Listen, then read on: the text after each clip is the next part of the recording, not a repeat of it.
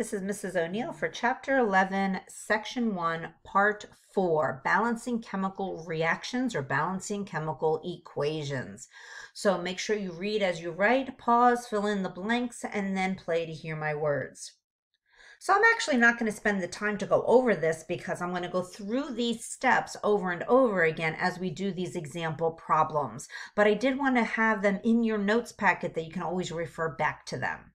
All right, so number one example is the Haber process, and this is the reaction to make ammonia. It's written as nitrogen gas plus hydrogen gas yields ammonia. So the first thing we need are the formulas for each of our substances in order to start balancing.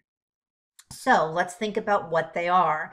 Nitrogen and hydrogen, hmm, those remind me of Cliff H. Braun. Yeah, those are diatomic molecules. We want to remember that nitrogen is going to be N2 and hydrogen is going to be H2.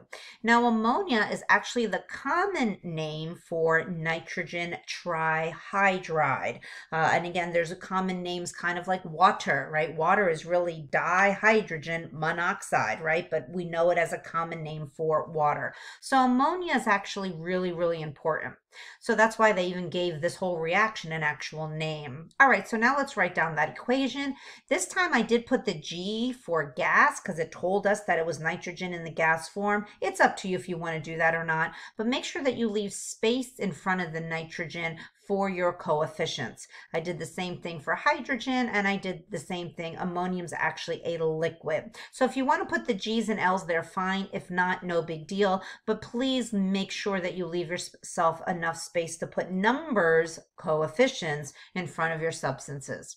All right, so First thing, how many of each element on both sides? So I'm going to pull out my nitrogen and my hydrogen. Again, keep your hydrogens and oxygens last. So hopefully you can think of two and one for nitrogen and two and three for hydrogen. So we notice that this reaction is not balanced. All right, so again, pause and fill in those blanks. So basically what I said, we pulled out those elements. The elements are not balanced. We're going to start at the top of our list.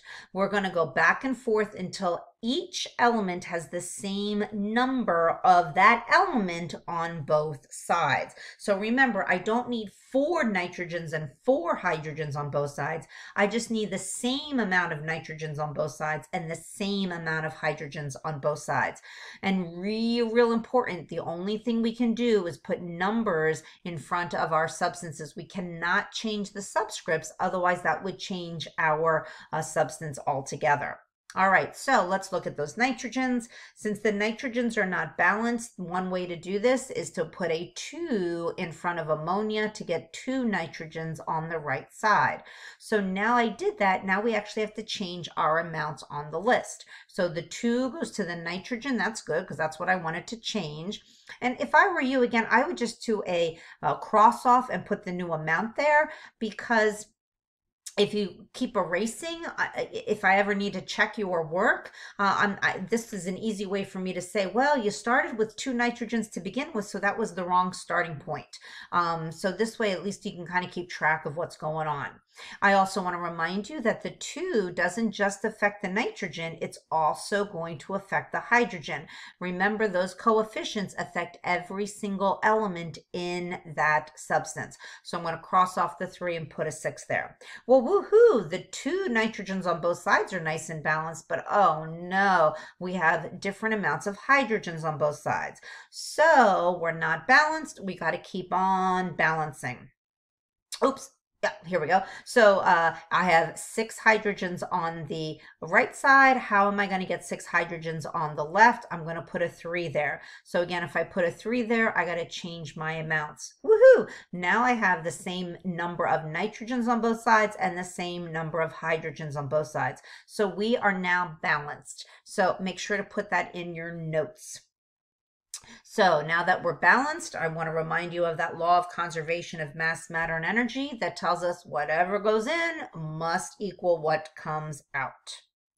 So, and this is again that nice visualization to show you those diatomic molecules and how many of those elements we need and how many compounds we need in order to make that reaction balanced. All right, so this is also some hints that I suggest, and I'm always going to show you the elements under the arrow. This way you're only listing them one time. And also really important to keep those hydrogens and oxygens last. And in that order, H, O. And the reason for that is because oxygen a lot of times is on its own. And so it's real easy to balance at the end. One thing I want to also bring to your attention is, yeah, after you get used to this, you're not going to have to make that list every time. It's going to be up to you. And you're going to see in the practice problems, I don't even give you space anymore to put the list, but you are more than welcome to put the list either in the margins or on scrap paper. All right, so example two, I'm going to try to explain to you what I mean by the lowest common multiple dealing with coefficients and changing coefficient numbers, meaning just because you start off with a two as a coefficient doesn't mean you don't have to, you might, I should say, means that you might have to change that to a three or a four or a five later on in your balancing. All right, so here is the second example. Can you pull out those elements and come up with how many on each side? Hopefully you paused and you came up with iron and oxygen. And hopefully you came up with these values. Again, pretty simple. We're only dealing with two elements. They're not going to always be simple though. All right, so let's start with iron. Well, that's easy. I'm going to put a two here and I'm going to cross off the one and put a two there. Now I have two irons on both sides. Woohoo! But now let's look at the oxygen. This is what I mean by the lowest common multiple. There's no number multiplied by 2 to give me the 3 that I need, and there's no number multiplied by 3 to give me the 2 that I need. So the lowest common multiple between these two is 6. So if I take 2 times 3, that will give me 6. And if I take 3 times 2, that will also give me 6. Most of the time, I will tell you that the lowest common multiple will basically be those two numbers multiplied together. Know, that's an easy way or an easy fix, I should say. So let's get 6 oxy uh, oxygens over here by putting a 3. So I can change my 2 to a 6 because I'm multiplying out. Now, if I want uh, six oxygens over here, I have to put a two coefficient in front of the whole compound. But now let's look at this. And I like to do things in order. So that two is going to affect my iron. So two times two gives me four. And I like to do it in order so I never forget to go back. So if I do it in order, it makes more sense to me. So again, that 2 times the 3 for my oxygen changes it to a 6. Woohoo! So my 6s, I should say my oxygens now are balanced with 6s on each side. But now if I look at my iron, I messed those up. Well, that's again an easy fix. This is where I got to take away that 2 and now replace it with a 4 to get four irons on both sides. So again, hopefully that makes sense. So pause the video, make sure that you have the correct coefficients and make any notations that you wish about that lowest common multiple or and changing coefficients if needed. All right, let's go on to the next one. Now we're going to be dealing with parentheses and elements in multiple substances. All right, here we go. So again, pull out your elements. I have zinc, phosphorus. Ooh, yeah, yeah, phosphorus first, then hydrogen, then oxygen. So now that we pulled out the elements in the correct order, can you pause and try to see if you can come up with the correct amounts of each? So hopefully you got for zinc pretty easy. Phosphorus, pretty easy. Hydrogen, not so much. I see hydrogen in two places, so I'm going to take my 2 times 1 plus my 3 gives me 5 total. And over here is pretty easy. There's only 2 there. But my oxygen, again, my oxygen has some here and some here. So 2 plus my 4 is going to give me 6 total. Same thing over here. I have 8 plus my 1 to give me my 9 total. So those are the initial amounts of elements on both sides. All right, so this is one you might want to just kind of listen to everything I say and then uh, pause and write things in. All right, so zinc is pretty easy to fix. We're going to put a 3 there. But my 3 here is going to affect my zinc, my oxygen, and my hydrogen. And we want to remember that there's hydrogen and oxygens on this side as well. So here we go.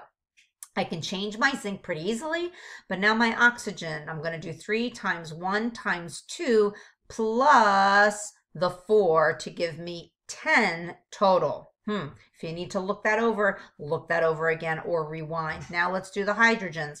3 times the 2 plus the 3 is going to give me 9 total. So again, hopefully you caught all those arrows. I'm trying to make sure you're, you're visualizing where all this is coming from.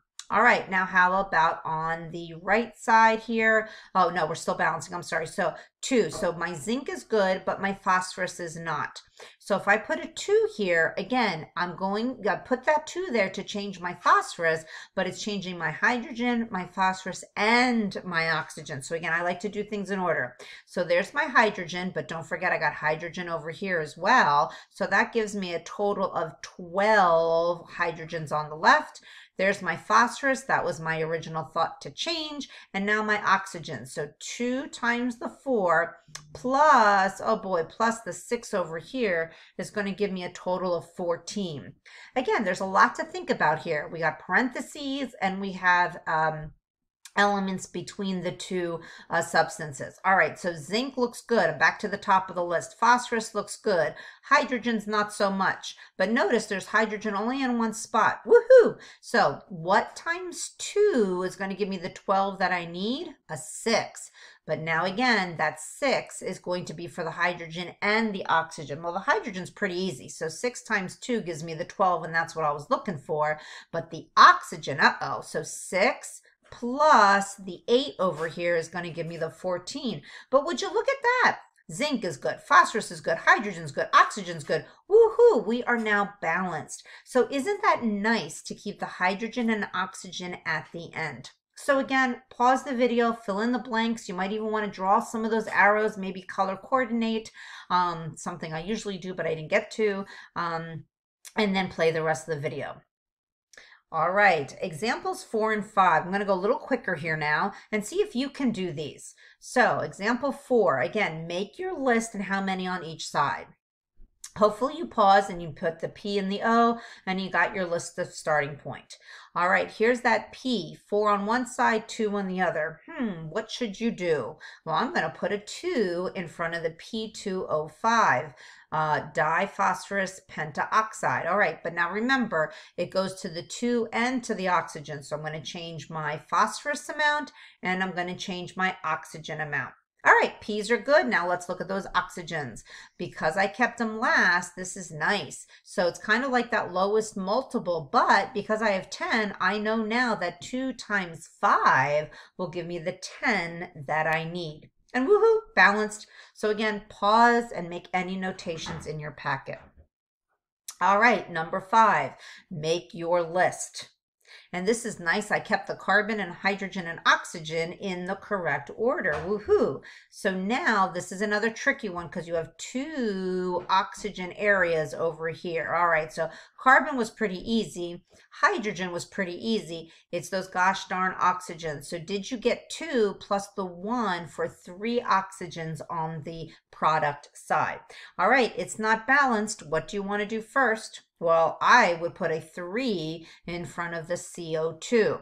All right. Oh, that's to show you the uh, oxygens again. Sorry about that. All right, so here I'm going to put a 3, but now remember, it's going to adjust the carbons and the oxygens, but we also have an oxygen on this guy.